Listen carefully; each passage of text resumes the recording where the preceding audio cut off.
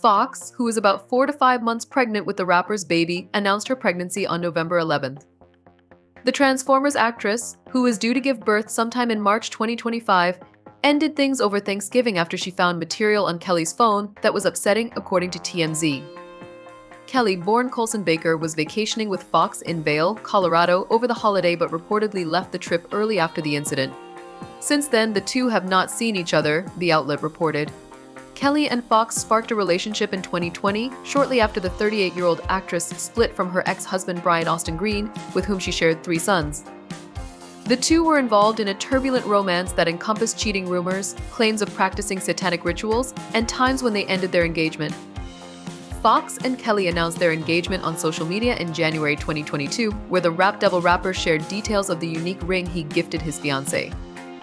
Kelly revealed that he designed the ring with British jewelry Stephen Webster and featured an emerald and a diamond meant to represent his and her birthstones, set on two magnetic bands of thorns that draw together as two halves of the same soul forming the obscure heart that is our love, the rapper wrote.